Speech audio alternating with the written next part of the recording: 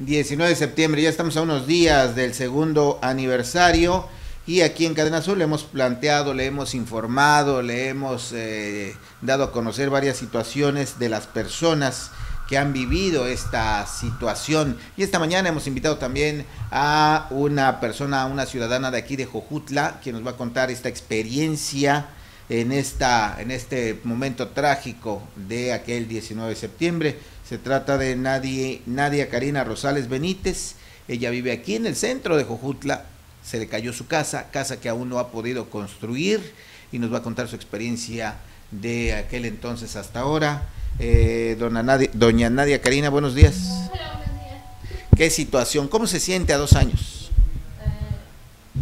Eh, espiritualmente motivada. Espiritualmente motivada. Sí, ¿Y materialmente?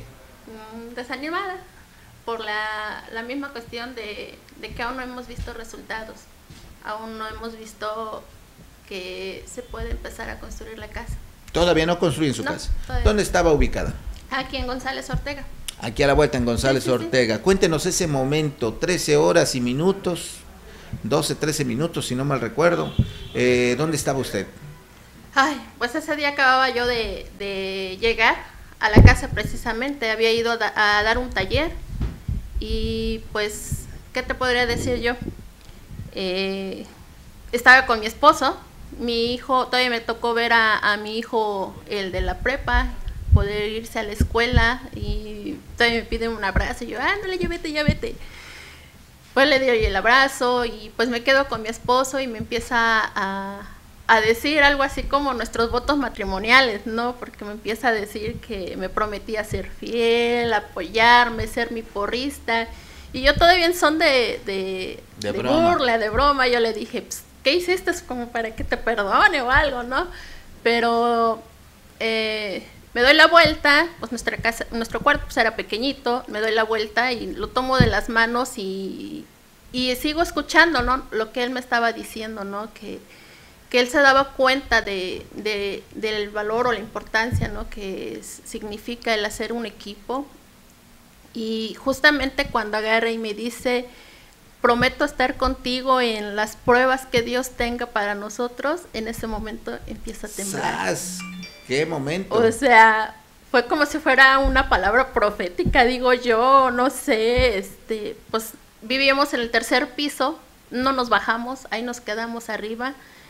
Eh, de momento, pues sí, ¿no? Yo dije, pues va a pasar, este, ahorita se va a calmar, qué sé yo. Yo veía cómo se caían todas nuestras cosas y este, pero ya cuando fue más fuerte, eh, empecé ahora sí que yo a gritarle. Yo le, yo quería bajarme, yo quería irme por mis hijos. Yo no había visto bien la hora, yo daba por un hecho de que mis hijos estaban en la escuela ya dentro del salón, y entonces más que uno iban, eh, bueno, estaban en la Benito y este y uno de ellos estaba en el tercer piso, pues se imagínate, yo me imaginé, o sea, por mi mente pasó lo peor y en ese momento se nos cae la barda y se nos viene encima un techito que teníamos, entonces mi esposo me sujeta y yo dije, hasta que llegamos, hasta aquí ya pues, Se acabó. Digo, yo decía, tengo que ver hacia dónde va a caer la casa para poder este, seguir la dirección. eh, digo, estábamos en el tercer piso, digo, pues que rápido nos encuentren o algo, ¿no? Eso fue, todo eso pasó por mi mente. Entonces, pues ya, después de ahí logro bajar, este, veo el cuarto de mi hermana todo destruido y yo, yo decía, mi hermana, o sea, yo le gritaba, incluso tenía un video y yo le gritaba, mi sobrina me decía, ya se bajó, ya se bajó. Alcanzo a bajar las escaleras y la veo este, en el suelo y así como En shock. en shock, sí. Tratamos de abrir la puerta y no se podía. Pues entre mi sobrina y yo pateamos la puerta como pudimos, la, la, la abrimos, saqué a mi hermana, me fui corriendo por mis hijos.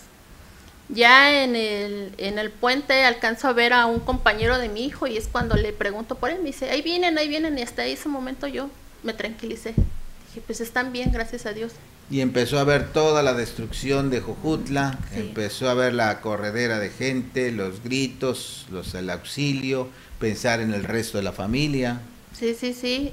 Yo digo, gracias a Dios, eh, tenía comunicación en el celular, me pude comunicar con, con mi hija que está este, fuera del estado, este, familiares, y digo, agradezco mucho esa parte, ¿no? Porque yo escucho testimonios de gente que decían, no, no, no teníamos señal, y yo sí, pues no digo, había, yo no sí. había señal, no había señal, eh, puros mensajes de WhatsApp. Sí, sí, sí. Pero pues sí, yo, incluso un primo que no sabía yo que eh, estaba fuera, se estaba pues sí casi en el norte, este, yo pensando que estaba aquí en Cuerna, dice, no, no, es que no estoy allá. Dijo, no, pues es que acaba de temblar, este, comunícate con mi tía. O sea, fu- fueron momentos, o sea, dramáticos, Muy fuertes. desesperantes. Ahora, ¿por qué a dos años? ¿Qué pasó? Eh, llegaron fundaciones, llegaron, eh, llegó mucha ayuda. ¿Por qué no han construido su casa?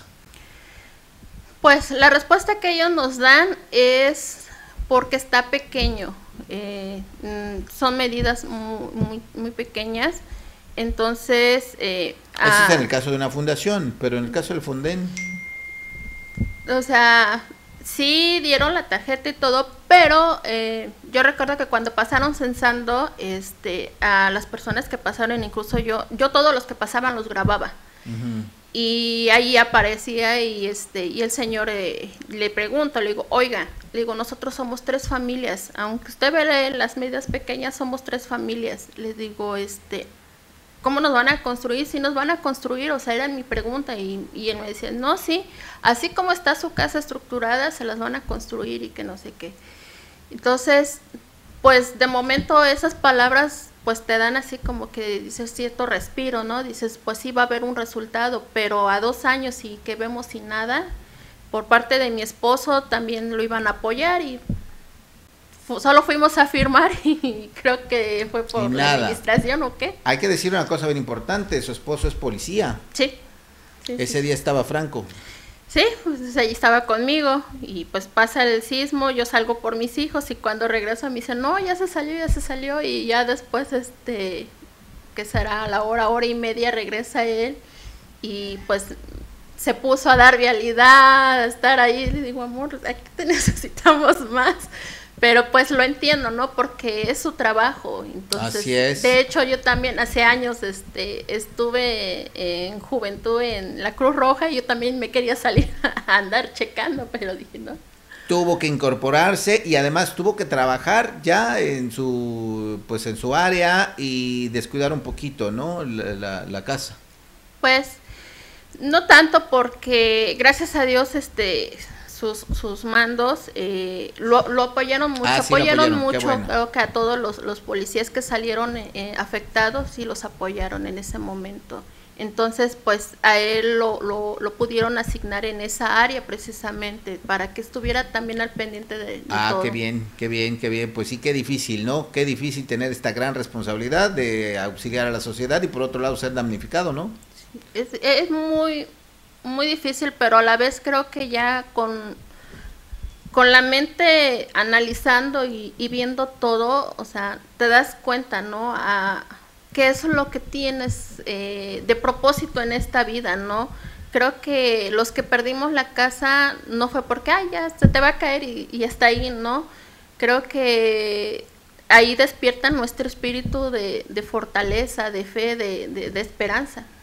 Correcto. ¿Y qué, cómo ha sido eh, estos dos años? Eh, ¿Qué tan difícil ha sido sin casa? Eh, ten- supongo que tuvieron que mudarse. Eh, ¿Cómo les cambió la vida? Bastante, porque, bueno, años atrás mm, mi suegra nos había donado un tacho de su terreno que es, está en Palo Grande, pero pues es- estoy hablando de una pendiente que para subir nos hacemos 15, 20 minutos. Entonces, tengo tres hijos, los tres van a la escuela en la tarde, entonces ver la cuestión del pasaje, lo económico, fue, fue muy fuerte. Sí hubo una, una, una fundación que nos apoyó con el material, pero eh, ya la mano de obra obviamente la, la pusimos nosotros, entonces todo eso implicaba gastos y gastos y, y tener que buscar por diferentes lados, ¿no? Pero a pesar de, esa parte, pudimos ver el apoyo de mucha gente, la familia, gente que no nos conocía, o sea, un día de verdad estaba yo tan, pero tan desesperada porque veíamos, ¿no? La, economía. Si yo te dijera que nos quedan a lo mejor 300 pesos libres de la quincena de mi esposo, pues para mí es mucho y, digo, hago milagros, ¿no? Pero una ocasión estábamos tan, eh, tan preocupados por esa área precisamente que, que de repente recibo una llamada de mi esposo y me dice, Chaparrita, ¿qué crees? Le digo, ¿qué? Dice, acaba de ocurrir un milagro. Les digo, ¿qué pasó? O sea, yo acababa de ponerme a orar, de llorar y decirle, Dios, ¿qué, qué, qué va a pasar con nosotros, no? Y de repente me dice, no, pues que una persona vio nuestro video, se contactó y nos, nos mandó un donativo y yo, yo de verdad, o sea, me puse a llorar.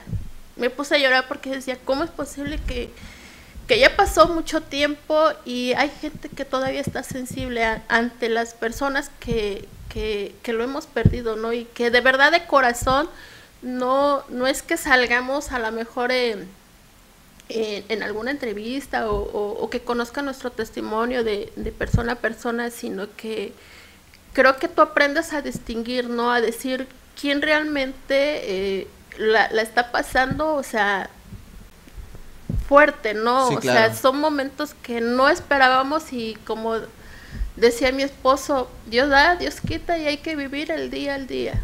Y de ahí vamos. ¿Qué situación? Pues esperaríamos que las cosas mejoren. Eh, ¿Están buscando, están todavía trabajando en ese asunto para reconstruir su casa? Sí, de hecho apenas mi, mi hermana, porque mi hermana es la que está aquí en, en, una de las casitas, este, ella, ella me comentó que pasaron los de con, con Abby. Ajá, con Abby. Con Abby y este y que están volviendo a censar y todo eso, pues le, le digo a mi hermana, le digo, pues como dijeron por ahí, no, vamos a ver si chicle y este sí pega, le digo, porque, pues sí, ¿no?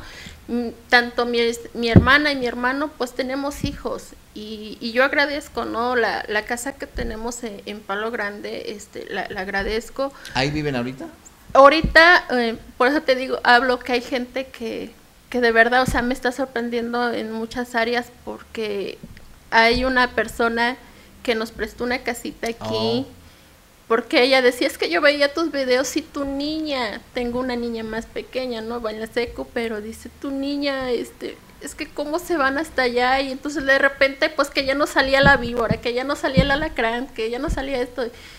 Y pues decía ella, dice, pues ahorita en lo que están acá, en lo que ah, pagan poquito de las deudas y entonces pues sí me, me, prestaron una casita acá, pero pues o sea, también, ¿no? Estoy, estoy con esa parte, ¿no? De, de, de ver aquí en qué momento nos, nos, puedan empezar a construir, ¿no? Sí, pasa uno por esa parte de la calle y efectivamente está pues eh, baldío, no hay nada. Qué situación. Pues gracias por compartir esta experiencia, Nadia Karina Rosales. Eh, y bueno, me gustaría preguntarle, y ya le reclamó a su esposo, oye, ¿tú qué sabías? ¿Por qué te estabas confesando ese día? no, no, lo que pasa es que eh, yo siempre he sido de la idea de que no matrimonio es bonita la, comunicación y, y, también de repente yo tengo esas partes así como que de chispa, ¿no? De, de, con mi esposo. Y pues él es así. Quien lo conoce sabe cómo es. Claro, y pues hay que decirlo, se trata del oficial Francisco Niebla. Sí, sí, sí, sí. Efectivamente, que también lo veíamos, justamente lo veíamos aquí, como dice ella, dando vialidad, apoyando, etcétera, se tuvo que incorporar, bueno, el, deber, ¿no? El, el sentir, el, lo que uno es, pues, de inmediato, reconocer su, su función y tratar de apoyar a la gente. Pues muchas gracias, Nadia Karina. Eh, todavía la gente está, estamos sensibles por esa situación. Eh, como decimos aquí, hay que recordar eh, y tratar de olvidar, aunque esas cosas no se olvidan, hay que seguir para adelante. Y yo creo que ustedes están en ese camino. Sí, sí, sí. Sobre todo te digo, creciendo, ¿no? Creciendo eh, cada uno en, esas áreas en las que no te esperabas vivir en las de que vas conociendo a la gente y, y, te das cuenta de que no toda la humanidad está perdida.